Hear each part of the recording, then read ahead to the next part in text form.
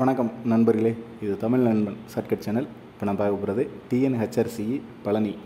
So Palani திருக்கோயிலேருந்து notification job notification ஒன்று கொடுத்துருந்தாங்க. ஸோ அதில் வந்து பார்த்திங்க அப்படின்னா இன்டர்வியூ லெட்டர் வரும்னு சொல்லியிருந்தோம். பட் இப்போ வரைக்கும் இன்டர்வியூ லெட்டர் வரல.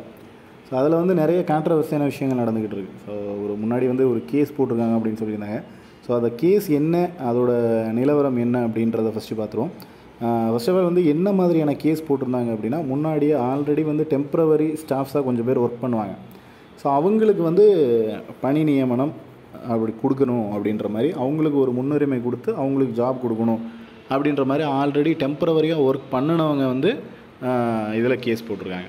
ப்ளஸ் அது போக அதாவது திண்டுக்கல் மாவட்டத்தில் தான் பழனி கோயில் இருக்குது ஸோ திண்டுக்கல் மாவட்டத்தை சேர்ந்தவங்களுக்கு மட்டும் வேலை கொடுக்கணும் அப்படின்ற மாதிரியும் ஒரு கேஸ் அப்படின்றது போய்கிட்டு இருக்குது ஸோ இதில் வந்து இரண்டு விதமான கேசஸ் போய்கிட்டு இருக்குது அது போக மூணாவதாக என்ன ஒரு விஷயம் அப்படின்னா இதற்கு முன்னாடி வந்து temporary staffs one year work பண்ணிவிட்டு அவங்க வெளில போயிருப்பாங்க.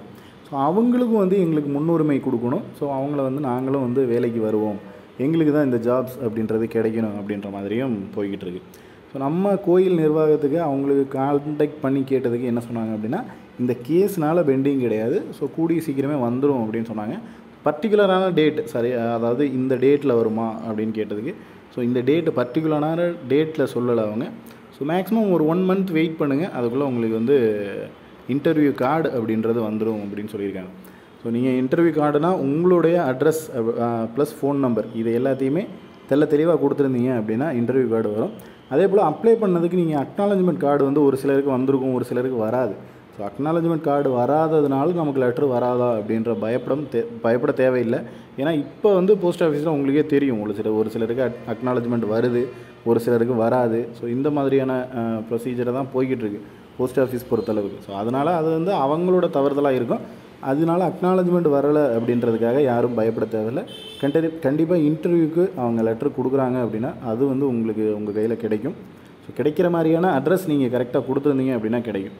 அதே போல் ராங்காக இருக்கிற அப்ளிகேஷனுக்கு வந்து அவங்க எந்த ஒரு மாற்று வழிகளையுமே சொல்லலை.